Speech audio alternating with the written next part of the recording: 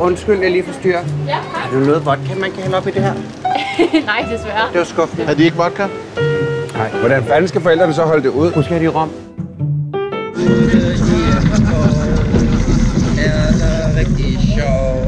Nej, det her er jo ikke...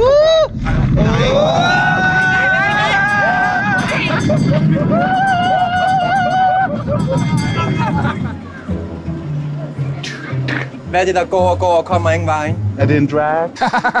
ja. Nej, de fylder hurtigt op, jeg bare lige. Gør de det? Gør det stærkt? Ja, det går lidt for stærkt. Oh, stop, stop, stop. Ej, det er lidt farligt, det her. Du har kun taget én smash, Chantal. Ja, jeg kunne ikke overskue mere. Blande. Morten ved, hvordan man gør et ned i hvert ben.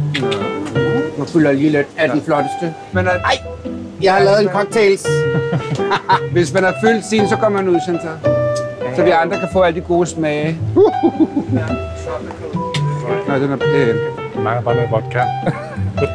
Nej, den er flot. Det er din også. Og hvorfor er jeg så pæne?